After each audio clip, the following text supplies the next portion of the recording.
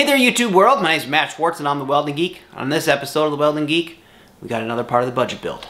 The gauntlet build! So, if you want to see how I made these, stay tuned to the video.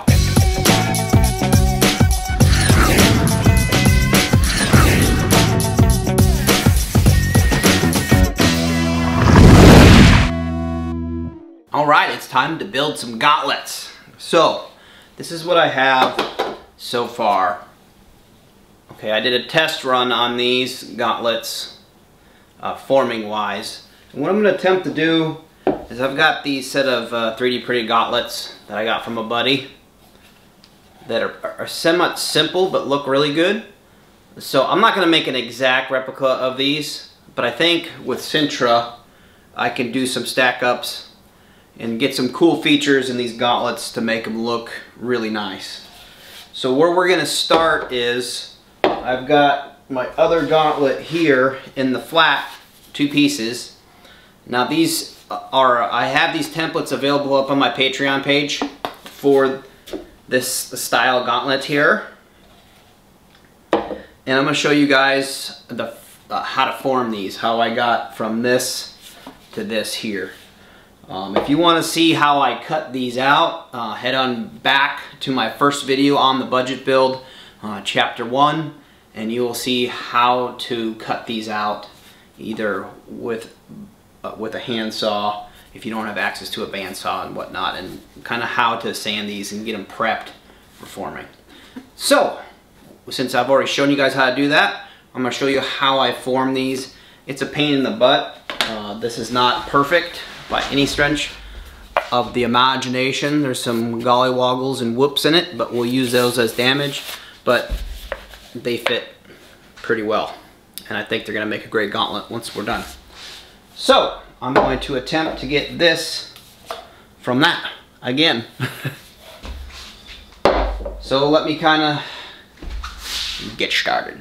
Now what I'm using is a I believe this is a 3 inch PVC pipe and a 2 inch PVC pipe as my forms. And this just takes a lot of time and a lot of work. Back and forth, back and forth. Using the table, using what you can. It's not very easy, uh, but I, I, I, think you can get it figured out. First thing I'm to do is heat the middle of this and get my first bend, getting it to go in the right direction here. This is the inside of the PVC board.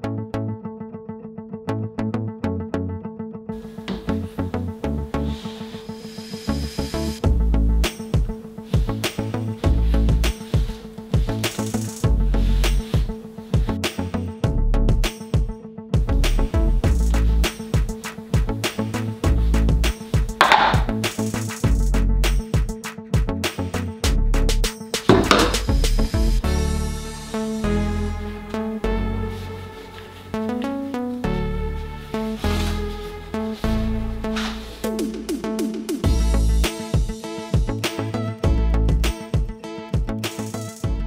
right, we kind of got our first bend down here. This is probably going to change as we get a little forward, but we got our first bends in here. The next thing I'm gonna do is heat up these sides, do them one at a time.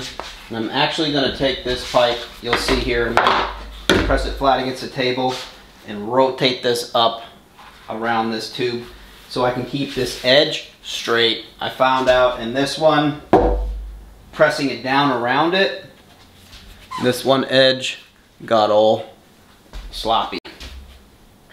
So I'm gonna do, attempt to do that again here.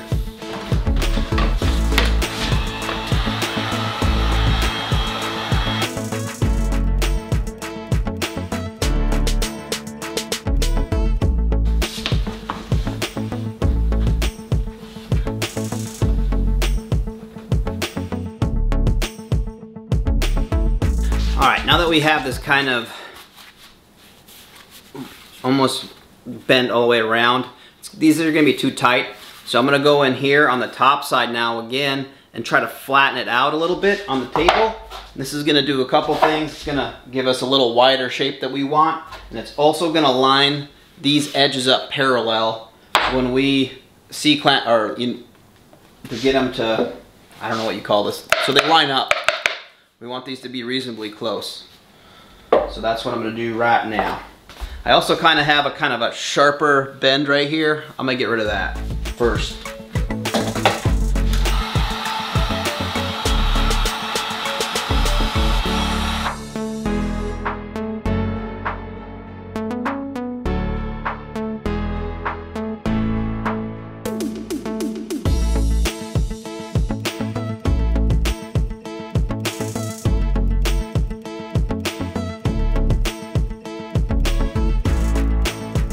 All right, I kind of flattened out the radiuses there. I'm gonna work on the other one. This is actually the top. I don't know why I keep on putting it on the bottom. Uh, but I'm gonna try to get them match up as best I can here. This is actually looking pretty close. So I'm gonna do that to this bottom one. All right, I really like the front of this one, but I really hate the back. So I'm gonna go ahead and do what I did again. Heat up this top section against the table kind of forcing it down with my hand, flattening it, flattening it out to the best of my ability. And we'll try to get these two made up closer than that right there.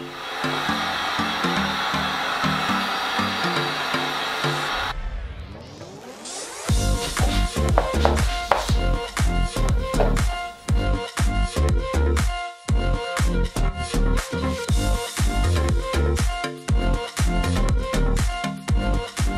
right, now that I have these somewhat close to fitting together here, I'm gonna sand the edges to make sure they're flat and how I'm gonna do that, as you can kind of see already, I started doing this just to test it out, is I stuck two of my DA paper to my cutting mat and I'm just gonna run it like this. So let me show you how to do that.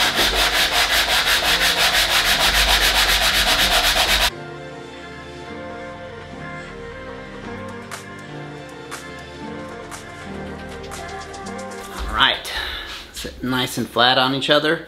I'm gonna have to do some fine fine tuning and then get everything sanded into place. These aren't gonna be the perfectly smoothest gauntlets ever, but they're gonna work pretty well. So I'm gonna go ahead and do the fine tuning. It's just gonna be working it back and forth with everything you just saw and get these kind of put together. All right, time to get some fine tuning done. Got my edges flattened out how I want them. Now time to try to get them to line up here. And I picked the best side that I feel like is gonna go the flattest and then we're gonna adjust this side. So we're gonna tape this side together, like so. So we got that seam taped together so it's nice and fl flush, but you can see here the misalignment of these edges. I'm just gonna try to heat up this section here, use my tubes, and try to get these to line up correctly.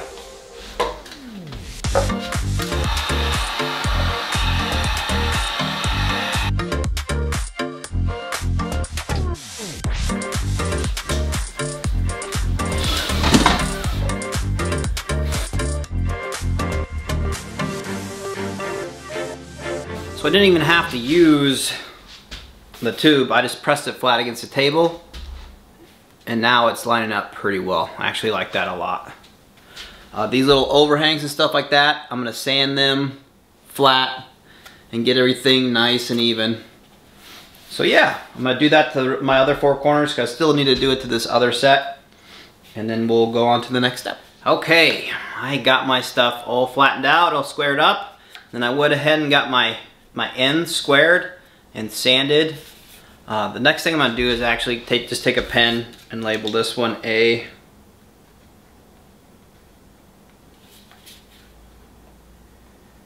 And A. Just so I know these two halves go together. So I'm gonna be taking these apart and we're gonna concentrate on building up on the top to make it look cool. So yeah, make sure you label your things because I guarantee these two ends are not going to match up like from one thing to another. Uh, how you're going to straighten, I straighten these up on my bandsaw. How you can straighten them up is doing the same thing here. So I cut mine and then using the flat surface to get these nice and flat.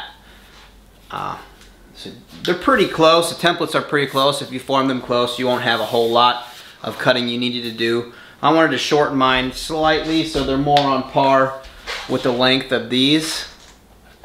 So, yep. Next thing we're gonna do, I'm gonna take these apart and then we're gonna start working on the top section. All right, so I was prepping to get ready to start putting my top section on and kind of realized that if I, I'm gonna cut out a piece, not exactly this size, but if I do this and wanna glue it on the top, there's gonna be some pretty significant gaps to fill, um, which I plan on filling either with Bondo or silicone. I haven't decided which route I'm gonna go. I think it's gonna depend on how big they are. So what I did is I went ahead and flattened out the top of one of my gauntlets to make that gap more flat. So I can stack something on top, get a good contact patch with the glue, and that way we can make something similar to the system that's on the top of here. So I'm gonna show you how I went about doing that right now. More or less tape my gauntlet together heated the center section here and just pressed it flat down on the table as squarely as possible and holding on to my middle edges so my alignment doesn't get messed up on my gauntlet here which that one kind of slightly got off. I might have to do some tweaks on it. Some side tweaks like we did on the last one. Bam! Flat top gauntlet. Now I went until it was almost melted you know like you really want to put a bunch of heat into this so you can almost squish it right? Push it down. And now we should have plenty of room and a decent patch, contact patch, for when we glue, when we go cut out the Sintra down on there. All right, I am going to start cutting out my layers of Sintra uh, for this top layer. Now these won't, these parts won't be available as templates. I'm more or less gonna just put do something random kind of in this general shape. I'm probably gonna do one layer that tapers similar to this this bottom layer and then I'll probably do another layer about yay long. And then I cut out this little piece of wood like so and I'm gonna use that to when I get these cut out to do an impression up front here. And then I'll probably I bought these things here, speaker wire pins. Okay, and I'm gonna strip the plastics off these and try to infuse these into the Sintra to be my little rock. It's kind of similar to something like that. So that's kind of the direction I'm going. Do I, I don't know if it's gonna turn out or not, but I'm gonna start cutting stuff out on the Sintra board. Now I have a, if this is the first video you're seeing of mine, if you go back through my videos, I've got a, a PVC, chapter one PVC board, the, the armor build, and you can see how I cut the armor in that video. I'm gonna try something different this time. I saw in the comments that you can score the Sintra and snap it. I'm gonna give that a try since these are should be all straight lines. I don't think that'll work very well for all your curves or for getting the most out of a sheet but for something like this, I think that'll work perfect. So that's what I'm gonna do now. I'm gonna measure out that and make something similar that will fit on the top of my gauntlets.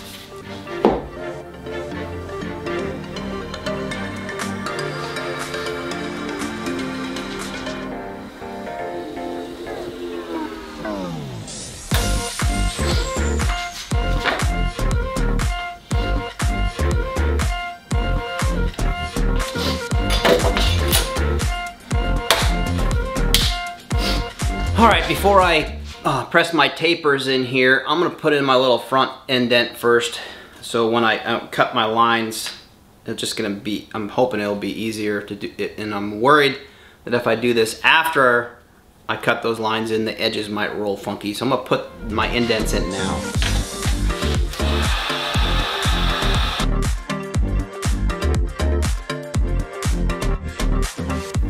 What I was going for. Just a cool little indent in there. And now I'm gonna taper, cut and cut a taper on these edges.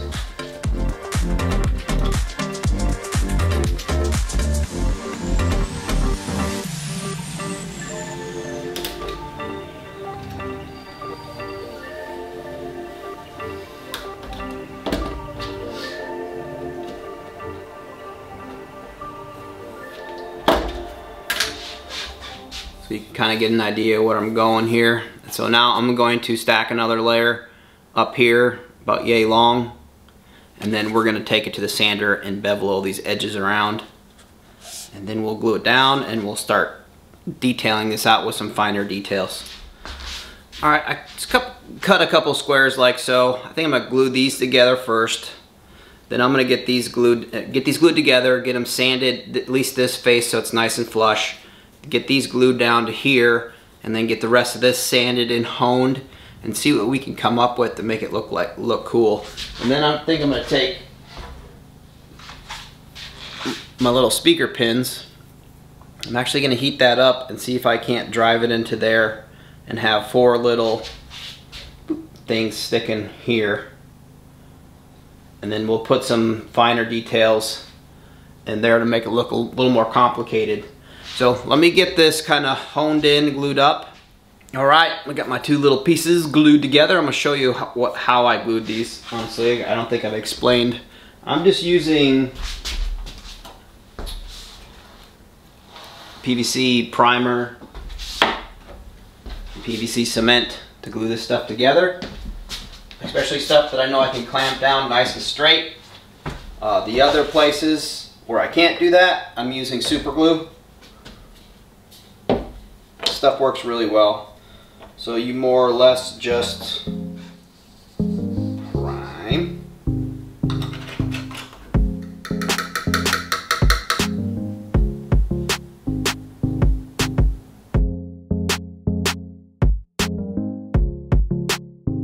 This stuff can be a little squirrely. Liquidy and like to slide all over, so just be aware of that. Make sure sit for like 10 minutes or so.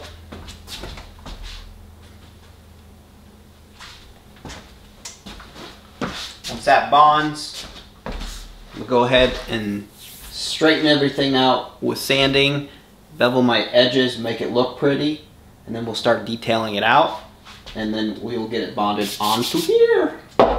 So that will be the next step. Just gotta let this set up. All right, we are all glued up nice strong. So that glue works pretty well. So I'm gonna get this all sanded, go do that in the garage. Probably chamfer each edge, nice. Maybe put a little chamfer on the back edge, not sure yet. Um, and I'll come and share what I went and then we'll start detailing this thing out. So I'll be back in a minute. All right, this is where we are at here. Got this old chamfer down, cleaned up kind of radius these edges over. So the next thing I think I'm going to do before I start really kind of detailing this thing out is get this bonded onto here. Like so. So I'm going to do the same thing I just did with PVC glue. Get this clamped down. And then we're going to really start getting artistic with this thing and see where we can go. I already showed you how to do the gluing, so I'm just going to go ahead and do this off camera. And then I'll be back here in 10 to 15 minutes, and we'll start decking this thing out. All right, it's details time. So I've got my thing taken off here, so it'll be nice and flat. So I've got a couple sharpened stainless tubes here. One with the big radius, one with the small radius. And I'm gonna heat up the ends of these and kind of press them in to make buttons. I've got, like I said, my stereo thingies that I'm gonna try to heat up and plunge in and hopefully I can get them semi symmetrical. And then I've got my soldering iron over here where I'm actually gonna try to draw in some lines similar to like this, this box here. Just put in some lines, maybe some down here on the bottom just to give it some more detail.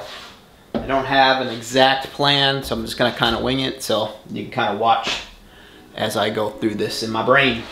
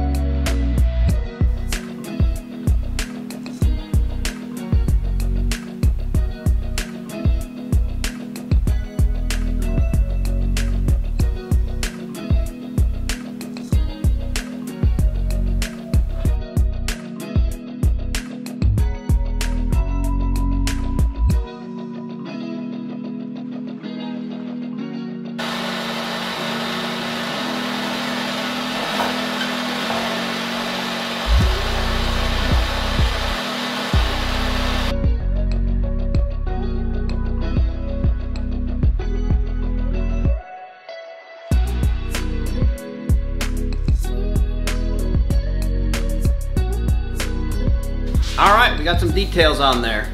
Just a, just a little bit, just enough to kind of paint that little box in there. I know it's hard to see with the white. We'll get it primed. You see the little buttons I put in, little gold bl blaster bolt things, whatever you, whatever our magic can come up with. All right, so the next thing I'm gonna do before I call it quits on this is I'm gonna think I'm gonna use a silicone and silicone these edges instead of Bondo. I was originally thinking Bondo, but I think I like how the shoulders came out with that. So I think I'm gonna hit these edges with some silicone and then we'll get a, a coat of primer on it and then we'll paint these in the paint video. So that's what I'm gonna do next. Get this, get the silicone and put it on here and see what we can come up with. All right, for this I'm using silicone ultra aluminum color see how this goes.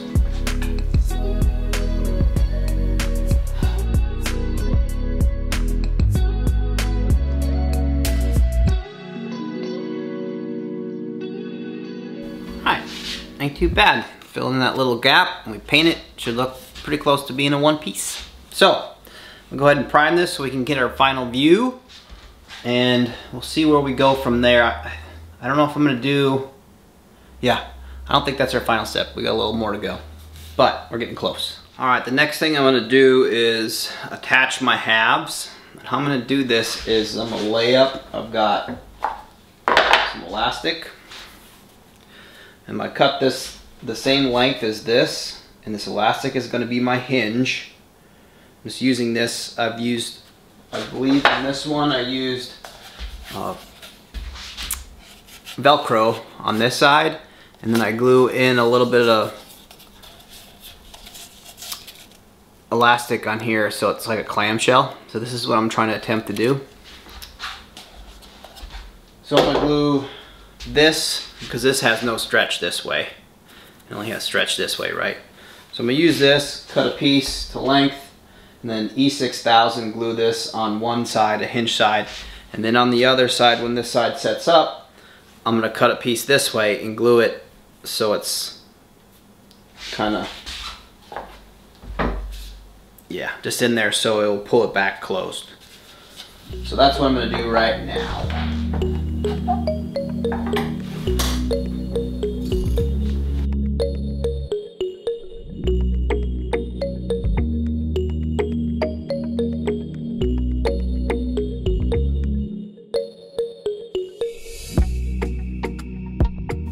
Hoping, like I said, I did this on this one, that this will be my hinge point. Uh, you want to make sure you touch all of that uh, Velcro in there. Velcro or, uh, like I said, I used elastic. Um, and just press it flat and then we're just to let this sit for a little while. Actually, you know what? This is sitting pretty decent. I think I'm to go ahead and put in my other per, uh, part two while I'm at it. I was thinking I might have to let that sit, but this is sitting down pretty nice. So I'm gonna do the other side too.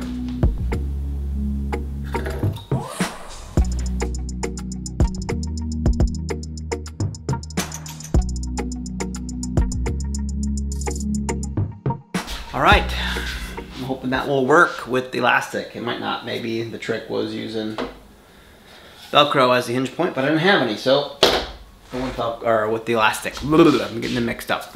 Anyway, I'm gonna let that sit. Hopefully that will work. And then, I'm not sure. Yeah, I'll come back when it's all painted. I'm doing a painting video the same time I'm doing this, and I'll probably get that painted in, and I'll show you guys that at the end of the video. That's what I'll do. All right, looks like the hinge in this worked out pretty well. Gives me enough room, stretch to get my arm in there. It seems to be holding up pretty tight. So we can spread that out, get my hand through there. Boom. Got enough play. And this is a very, it's a pretty strong uh, seam, so I'm pretty happy with how that came out. So you can either use uh, elastic for this, the what we'll call the hinge, or I, like I said on this other one, I use Velcro and it seems to work really well. You just need to make sure that you leave enough uh, non-glued section on the elastic on the stretch side to give you some room to flex. So you're gonna glue maybe an inch of this side here with the E6000 and an inch here and make sure you prep your PVC. Just give it a little sand to give it something clean it off and give it something to stick to. So yeah, I think I'm gonna get this painted up. You guys have already seen, like you see I'm in process. I'm doing both of these videos simultaneously. But you'll see this in the paint video, which is gonna go on YouTube before the gauntlet video. So I'm gonna go ahead and get this painted up. Um, and then I'm gonna, I'll show you guys what it looks like. So yeah, pretty, I mean, I know it's a sleek, simple looking gauntlet, but that's what I wanted.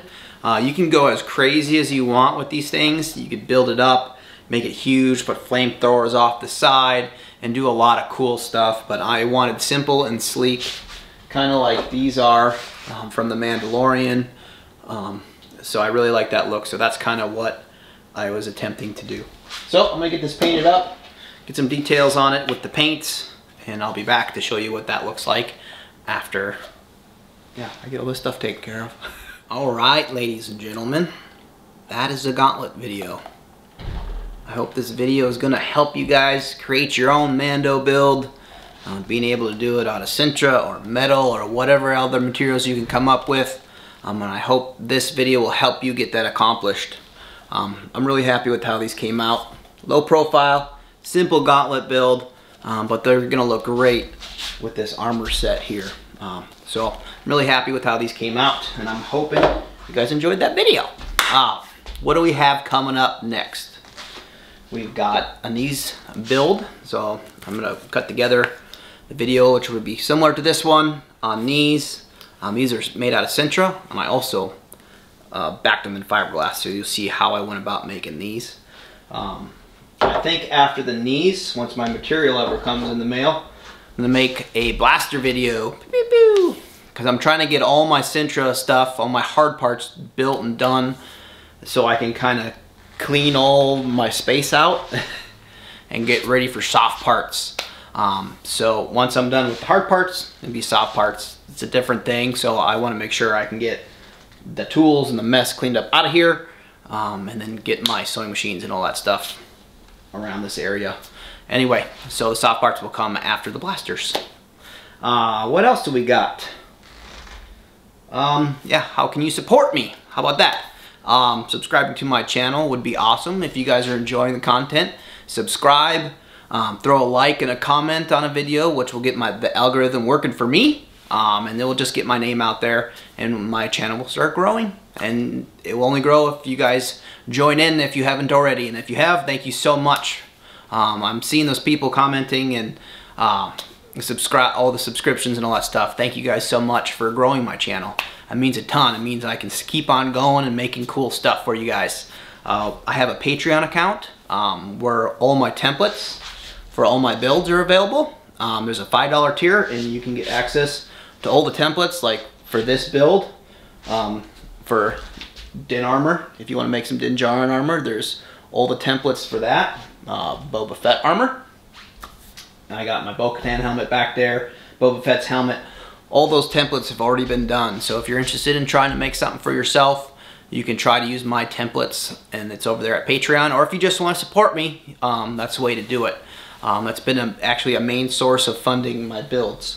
Um, and on that note, funding my builds, um, one of the biggest questions I get is do I do commission work or will I make a set of armor for you? And the answer is unfortunately no. I don't have time to do direct commission work um, because that's a it's a huge under uh, undergoing or a huge project because you have to get the sizing right. Um, it's drawing new templates. It's going back and forth, and it just I don't have the time to do it. So I decided though myself, in order to fund some builds, to build a set that I already know how to build. So I built uh, a set of Din Djarin armor, a partial set of Din armor, and a partial set of the Boba Fett armor. And those are available over at my Instagram account. So if you're available of those, and I'll kind of got them sitting here on the table, the partial sets. I'll kind of show you what the set includes. Um, so if you want to head over to my Instagram account, account if interested, um, before you go over there, these are very expensive. They're not cheap. This is not a budget thing. Um, metal work is not cheap. So just be forewarned, uh, my Instagram page, like you see it in my intro, is May the Schwartz be with you cosplay. May the Schwartz be with you cosplay. so you can head over there um, and send me a direct message only if you're interested in the armor because um, my, my mailbox will fill up. Um, so um, yeah, this is what I have available. I've got a partial set of the Boba Fett armor which comes foamed back. It gives you the depth like it looks like on the Mandalorian. You got the damage involved. Uh, it will have the PEM studs with a washer and a nut, easily mountable. And it comes with all the chest, chest plates, you know, collar. It comes with the shoulder bells, damage, and a back, and a back plate. If you want to see how much these are, you're going to have to head over to my Instagram account. Um, and then the Din Djarin set will come with the five plates. Season one, beskar. It comes with chest plate. All aluminum, none of that plastic stuff. We're dealing with aluminum here. We have got a butt plate, damaged dings in there just like in the show. A set of hip plates. Hip plates have foam here, but it's cut out so it sits really nice on your hip.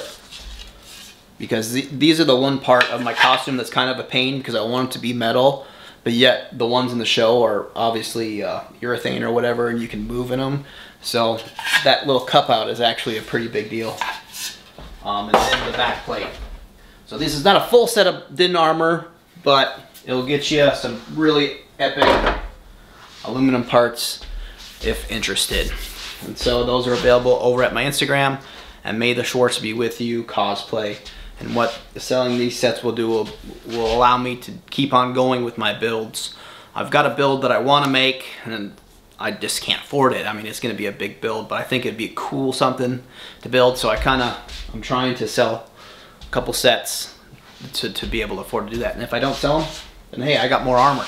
I'll paint them up and have multiple sets. So anyway, I just wanted to make my YouTube people aware of that, people watching my videos. Um, and yeah, like I said, I don't do commission work, but here's your chance to own something that I've made with my own two hands. And anytime I put something up for sale, it's over there at May the Schwartz Be With You Cosplay on Instagram. Uh, so yeah, thanks for watching my videos, guys. I hope you enjoyed this. I hope it was informative. I hope you can use the tips and tricks here to make some rad armor yourself. And uh, here's for more coming down the road. So let's get at it.